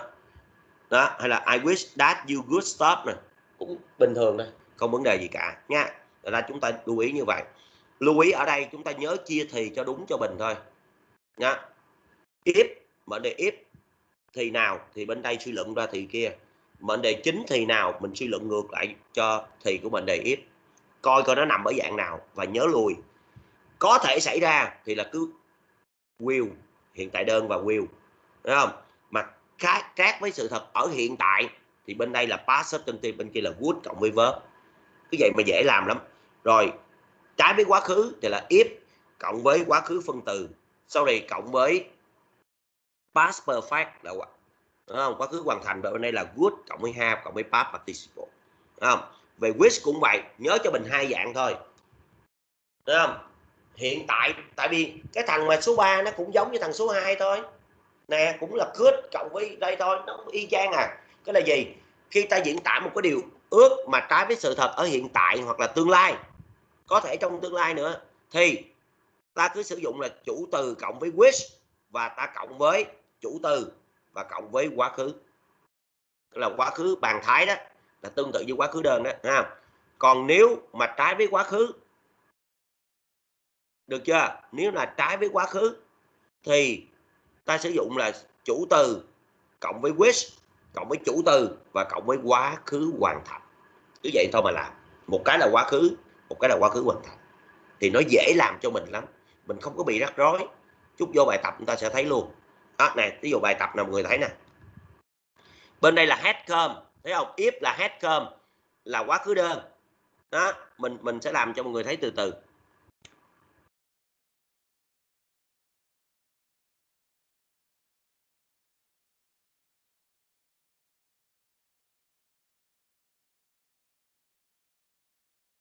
À, đó. Thì mọi người sẽ thấy ở đây, mọi người thấy không? If you had come, thì đó, nó cho mình mình là if rồi. Quá khứ hoàn thành rồi, thì bên kia mình nhắm mắt đưa chân vô cho mình là gì? Good have met là xong. Nè ví dụ nè. Ta thấy không? She wishes nè, chỉ cái điều ước rồi nè. Nhưng mà gì? The bad news yesterday. Ta thấy chữ yesterday là quá khứ. Mà ta đã quá khứ rồi thì ta phải lùi xuống. Thành ra là câu C là had đình thôn ở đây nó bị sai một cái lỗi chính tả nha mọi người, để mình sửa cho mọi người thấy luôn. Để mình làm lại cho mọi người cái câu này. Nó bị đánh lộn.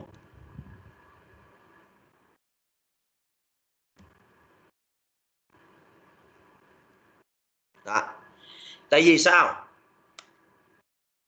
Ở đây cái câu chính là gì? If I knew rồi kìa mà if I knew là quá khứ rồi, thì bên kia là I couldn't disturb you là đúng. Nhưng cái chuyện mà tôi biết, bạn bạn gì? Bạn bận đúng không? Thì là you are. Tại vì nó là hiện tại. Thì mình mới đặt ngược là là là mình không biết. I don't know you are. Busy thành ra ở đây là câu, chọn là câu A nha mọi người. Nó bị lộn, bị đánh sai chính tả rồi, còn đây nè, câu 4 nè. I give you nè. Will rồi. Mệnh đề mệnh đề chính ta có will rồi, thì bên đây chắc chắn ta dùng hiện tại đơn. Là I need là xong. Đó, rồi bây giờ nè. Bây giờ nè. I wish rồi my my father nè. Here with me now. Vậy thì bây giờ cái sự thật nó nằm ở đâu? Ở hiện tại. Vậy thì nó trái với sự thật ở hiện tại rồi, thì ta đưa chữ were vô là xong. Đây, câu C là câu chọn. Đó, rồi nè bây giờ, cũng vậy, câu 6 cũng tương tự nè. It's very crowded here. Hiện tại đó. Vậy là sự thật ở hiện tại thì ước trái với hiện tại nè, lùi xuống thành quá khứ. Hiểu không? There weren't. Đó. Mình có thêm những cái bài tập để chúc mọi người sửa bài thì nó dễ hơn. Tôi về câu hỏi đuôi thì ta làm nhanh thôi. Cứ mọi người cứ đọc thôi. Cứ nhớ nè, ở cái dạng câu hỏi đuôi này thì nó có một số bài tập trong sách thôi, còn không thì không có. Thì cái dạng câu hỏi đuôi là gì? Nó là một cái câu. Phần sau, cái đuôi là câu hỏi. Có cái đuôi mới tạo thành câu hỏi. Thành ra là về mọi người cứ nhớ cho mình rất dễ nè. Cái câu hiện tại thì cái đuôi sẽ là, sorry, cái câu khẳng định thì cái đuôi sẽ là phủ định. Và ngược lại, cái câu phủ định thì cái đuôi sẽ khẳng định. Đó. Thì nếu nó là những cái động từ mà ta có là he y thì bên kia là isn't he đó, you are thì là aren't you. Nhưng có cấu trúc đặc biệt nè I am thì phải là are I. Nhưng mà I am not thì là am I. Đó they hiện tại đơn thì là don't they. Nó cứ vậy thôi mà làm. Doesn't thì ta mượn đúng không? Vậy thôi. Đó. Và ta phải đưa lại cái đại từ nha mọi người. Ta phải đưa cái đại từ vô. Đó những cái trường hợp đặc biệt như là uh, let's go have better vậy đó. Để mọi người cố gắng coi cái này chỉ có làm thêm cho mọi người thôi chứ phần ngữ pháp chúng ta không có, là mọi người yên tâm. Nha, có thể dựa vào bài tập ngữ đó. Dụ has got thì bên kia là hasn't let's go thì cấu trúc đặc biệt, cứ thấy chữ let là bên đây là shall we đúng không? Rồi Tom invited. Quá khứ đơn thì bên đây là didn't he. Đó, chứ là didn't Tom cũng sai. Phải đưa nó về đại từ mới được. Đúng không? Tại vì nè, no one rồi. Mà no one rồi là phủ định rồi. Thì đây ta phải dùng là a đây mới đúng. Đó, như vậy. Đó là những câu, đây là câu mệnh lệnh. Thì cứ thấy câu mệnh lệnh thì tiếng Anh sẽ là will you?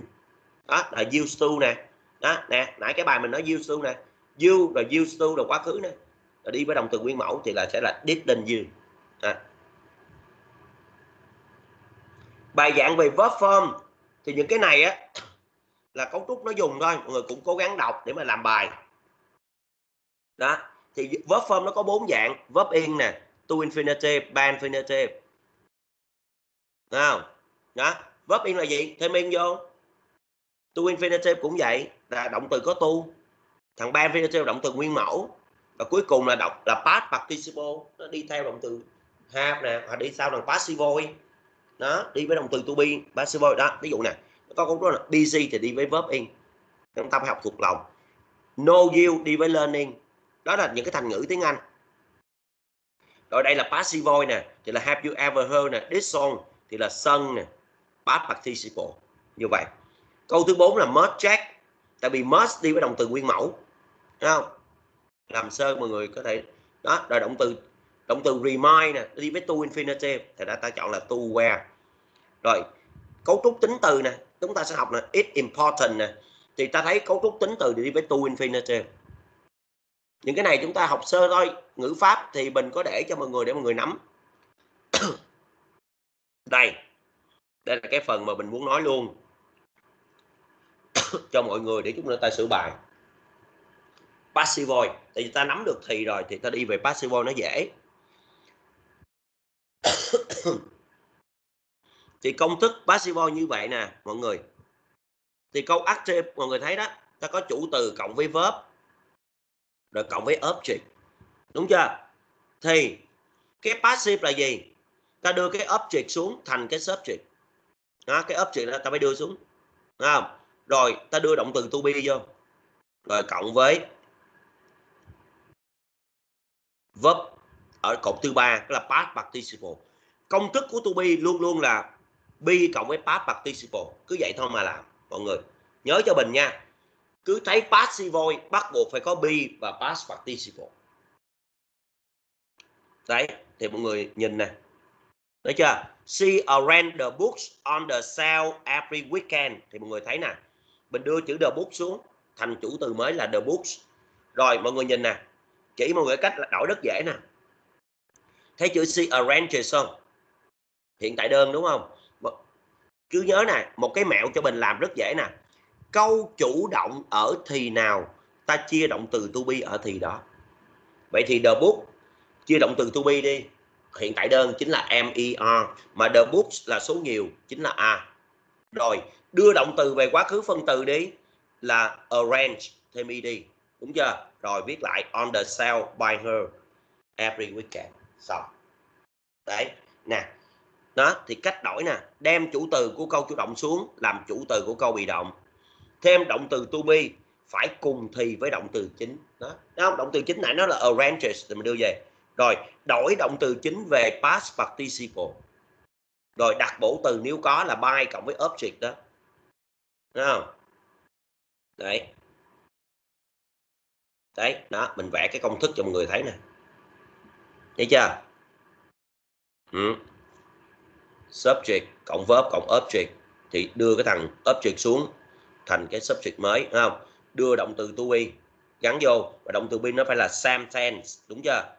Với cái cái động từ chính, trong bài là arranges thì đưa động từ to be là a đúng chưa? Xuống là past participle. Đó, chuyển động từ chính về past participle, rồi cộng với by và cộng với doer chính là cộng với cái subject đưa xuống. Đấy thì đó là công thức của passive voice. Thì chút nữa làm bài chúng ta làm nhanh, nó nó sẽ đỡ cực cho mình. Nha mọi người nha. Rồi, thì trong cái thằng passive voice nó có hai cái dạng nữa. Trong passive voice là một cái dạng của causative, ta gọi là thể sai khiến. Cái là passive voice là gì? Chúng ta không làm hành động mà chúng ta nhận hành động. Ta bị tác động đến thì nó gọi là passive, bị động mà. Còn thằng causative nó khác tí. Nó cũng vậy đó, cái chủ từ nó không làm hành động nhớ nha, nó không làm hành động, nhưng nó nhờ và nó sắp xếp người khác làm.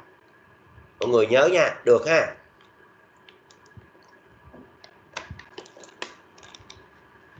Rồi, thì chúng ta chia công thức như sau. Nó theo công thức là mọi người dễ lắm. Cái này cô ơi, rất dễ, cứ nhớ công thức mà làm cho mình thôi. Thì công thức một nè, ta có chủ từ nha. Nếu ta nhờ mà ta, cái người ta nhờ á ta biết cái người ta nhờ ta muốn đề cập đến cái người ta nhờ. Thì ta có nè, chủ từ cộng với have cái là have này ta thể chia theo bất cứ cái thì nào ta muốn. Hiện tại đơn cũng được, quá khứ đơn cũng được, tương lai cũng được. Hiện tại hoàn thành cũng được, tùy. Đó, thì chủ từ cộng với have nè. Rồi cộng với người nè. Đó, cộng với object mà object này là người nha. Thì nó chỉ khác biệt cho đó nè. Chủ từ cộng với have cộng với người, cộng với động từ nguyên mẫu. Rồi cộng với một cái object khác là something cứ vậy đó, Thấy không? Nhưng mà chữ ghét thì nó khác biệt nè. Ghét thì nó cộng với người, cộng với object chỉ người, Thấy không? Rồi cộng với gì? To infinity. Thằng ghét thì phải đi với to infinity và cộng với something. Đó, mọi người thấy không? The manager had his secretary repair nguyên mẫu. Had, have mà chỉ người. Have đi với người thì đi với động từ nguyên mẫu. Xong. Nhưng ở dưới nè, I'm going to get đúng không? I'm going rồi. Thì nó chia thì be going to. Động từ get chia be going to nè. Get nè. Harry là người thì là to repair my car. Đấy. Đúng không? Nhưng nó ở công thức một, khi ta có, nhờ mà người nhờ mà ta muốn đề cập, thì nếu mà là ha, thì đi với động từ nguyên mẫu. Đi với người nha, đi động từ nguyên mẫu. Get đi với người, đi với to infinity. Nhưng nếu ta không thích đề cập đến cái người ta muốn nói về cái, ta làm luôn cái chuyện đó. Được ha? Nè, mọi người nhìn nè. Ta làm luôn cái chuyện đó, đúng không? Ta muốn nói cái chuyện đó thôi. Không có đề cập đến người ta nhờ thì rất dễ. Ta có ta có thằng ha, thằng get y chang nhau. Chủ từ cộng với ha cộng với something và cộng với quá khứ phân tử là xong. Đó, chủ từ cộng với get cộng với something cũng cộng với quá khứ phân tử là xong. Được chưa ạ? à? Đây, mọi người cố gắng nhìn cho mình nha. Đây. Thấy chưa? Đó, nè. The manager nè head nè. Đó, rồi his secretary nè. Thì là động từ nguyên mẫu đi, là type là xong. Đấy, những cái bài tập này nó cho mình những cái phần để mà mình ôn lại cái kiến thức thôi chút nữa mình sửa vô bài cũng vậy. Rồi, many US automobiles.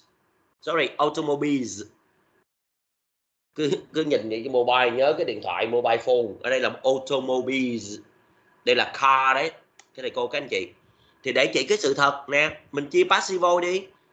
Thì cái này là số nhiều đúng không? Thì là chia động từ to be ở số nhiều đi là phải là a không? Thì là manufacture là xong chứ câu b là sai. Have manufacture là đúng về thì đó. Là thì hiện tại hoàn thành đó. Nhưng hiện tại hoàn thành này nó đâu có làm cái hành động đâu. Nó bị động mà. Đúng chưa? Đó, chúng ta coi sơ thôi chúng ta vô bài tập thì nó quan trọng hơn. Đó, thấy không? Cái áo được làm từ vải thì là e made up, thấy chưa? Đó, động từ to be. It e made up. Rồi, ví dụ câu 4 nè. Thấy không? Nè, we got nè, our mail. Nó, ta có get rồi kìa. Đi với vật rồi thì đi với past participle cho mình là xong. Là câu B, là câu chọn. Đó. Rồi ta có chữ last month kìa các thầy cô. Rồi loss of houses kìa. Đúng không? Vậy là passive voice rồi. Mà quá khứ, động từ to be chia quá khứ đi là were và destroy past participle vô là xong. Nhớ công thức cho mình là là gì? Be cộng với past participle sẽ ra passive voice rồi, bây giờ ta có câu kế tiếp là I must have the dentist nè. Rồi, have rồi kìa. Have rồi kìa, cộng với người kìa thì đi với nguyên mẫu đi là câu D, là check là xong. Đấy. Rồi về reposition này chúng ta có thể học thuộc lòng thôi. Làm bài tập cho quen, đó, thì mọi người cứ đọc. Chứ không cần mọi người phải này thêm vô thôi. Chứ trong sách thì mỗi lần có bài tập thì mình sẽ đi vô. Ví dụ, approve đi với of nó disapprove of nó công thức nó phải học thuộc. Dependent phải đi với on. Rely đi với on. Ví dụ vậy. Interested đi với in. Crowded đi với with. Đó, rồi pass đi với away pass away là die đấy. Như vậy.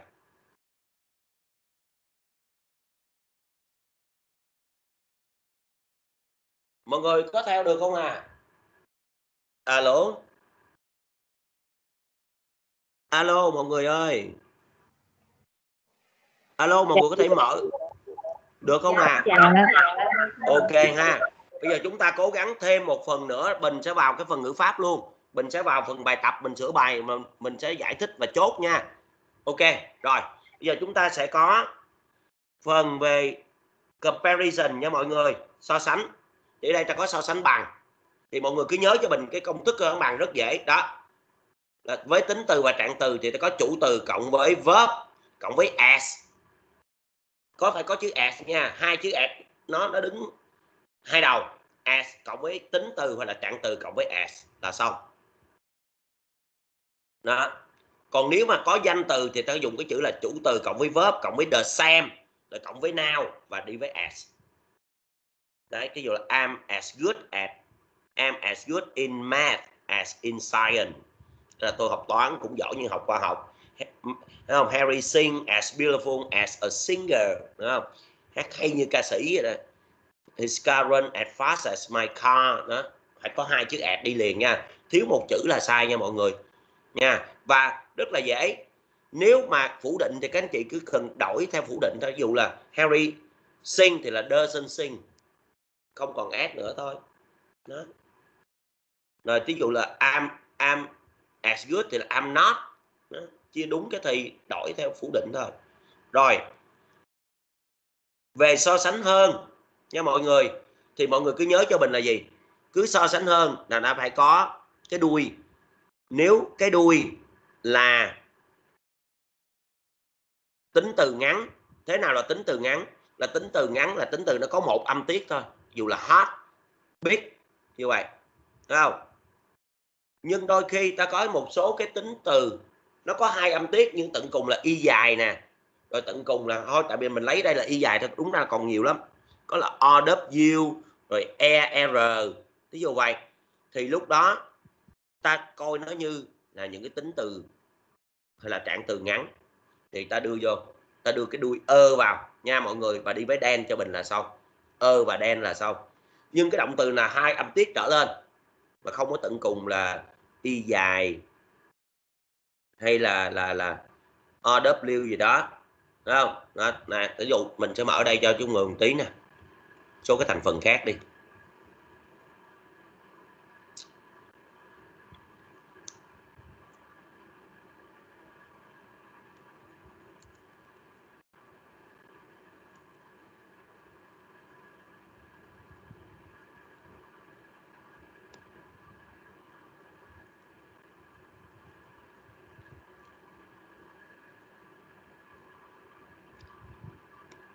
Mình làm rõ hơn cho mọi người chút xíu.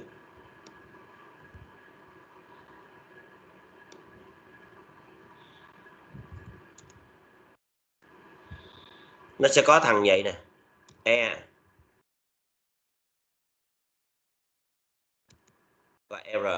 Giống như ta có chữ bitter đó, mọi người. Hay là clever. Thì nó cũng được coi là tính từ ngắn. Nha.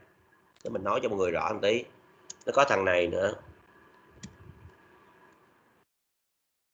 LE như ta có chữ simple thì ta đưa vô là siml cũng được, ha. Tại vì ở đây thì mình không có muốn cho nó khó cho mọi người thôi, nhưng mà thôi kệ, cứ đưa vô chút xíu chứ nếu không mình lại, cái thầy cô không có thấy nó nguy hiểm.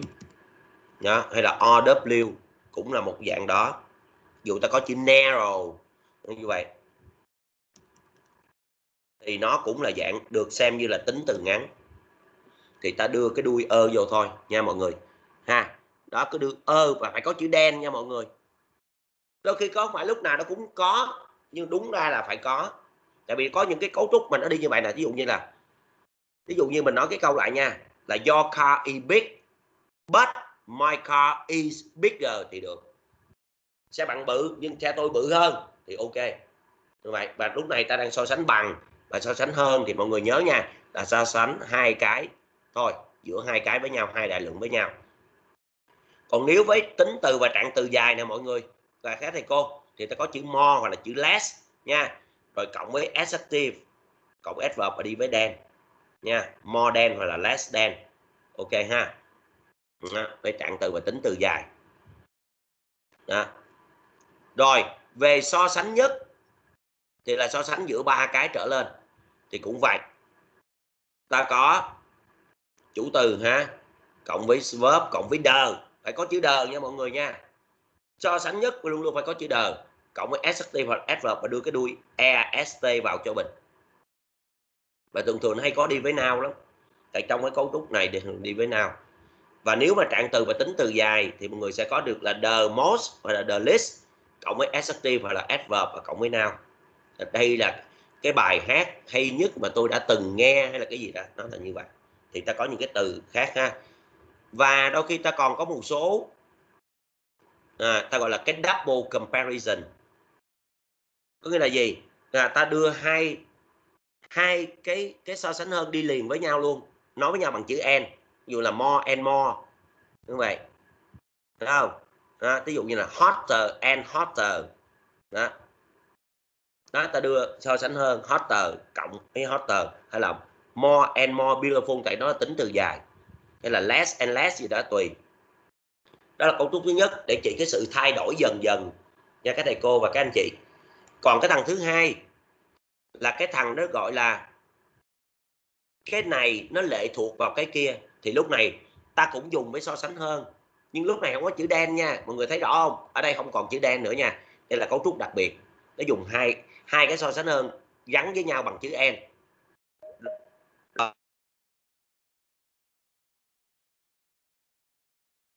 kế tiếp là mọi người có cái cấu trúc thứ hai. Thì lúc này nè, cái này cô, các anh chị nhớ cho bình nha, nó có cái sự khác biệt nè. Ta lấy cái chữ đờ. Ta thấy cái chữ đờ nha. Ta đi với cái thằng so sánh hơn. Rồi ta có cái cấu trúc. Rồi ta phẩy cái, ta có đờ đi với so sánh hơn. Ví dụ như mình có nè. The richer he gets, the meaner he is. Cái thằng này nó càng giàu bao nhiêu thì nó càng bần tiện bấy nhiêu. Đúng không? Rồi ví dụ như là ông thầy ổng khó bao nhiêu? À, ông thầy ổng càng khó bao nhiêu thì học sinh sẽ học chăm chỉ bấy nhiêu. À, chắc tôi phải áp dụng theo cách này quá. Đúng không? Bình sẽ áp dụng theo cách này. Đó đó những cấu trúc đặc biệt thôi. Đó thì mình nhớ nha thằng kia là gì? Hai cái so sánh hơn đi với nhau liền. Nói với nhau bằng chữ n là ok. Còn cái thằng này là gì? Cái chữ đờ đi với thằng so sánh hơn. Chấm chấm phẩy một cái đờ đi với so sánh mà nó đứng đầu những cái mệnh đề nha mọi người nha. Nó đứng đầu cái mệnh đề đó, the richer he gets the meaner he is. Nó mới được. Rồi. Đó ví dụ như nè, I am nè, the same age as you are. Tôi bằng tuổi bạn. Đó. Trời, mỗi lúc một tối hơn thì là darker and darker. Câu B không chọn nha các thầy cô các anh chị. Tại vì sao câu B nó sai? Tại vì the darker and the darker là sai liền. Không có được. Chỉ có so sánh hơn, đi với so sánh hơn, không có dính vô chữ đờ nha, đó câu 3 thì dễ quá rồi. Là look much nè, rồi today đen nè. Đã thấy chữ đen rồi, mọi người cứ nhắm mắt đưa cho mình so sánh hơn vô cho mình là xong. Là happier là xong. Đó, rồi, mình chỉ với một cái mẹo nè. Thấy cái chữ of the forest không, cái thầy cô? Cứ thấy chữ of đi với số nhiều hay là of all? Được nha, mọi người. Thấy chữ of all hay là of cộng với danh từ số nhiều thì chắc chắn ta đi với so sánh nhất. Thì câu B là câu chọn là the most. Được ha. Rồi đó câu 5 kìa. Thấy không? Nè so sánh hơn đi với chữ đờ nè. Đó đứng đầu luôn nè. Đờ faster đờ đi với so sánh hơn. Thì bên kia mình cũng có là đờ đi với so sánh hơn. Thì chọn đi là đờ sooner xong. Đấy. Và cuối cùng là không có nhiều tiền bằng đó, đó là do not have as much money as. Ok chưa? Bây giờ chúng ta sẽ chuyển nha. Mình sẽ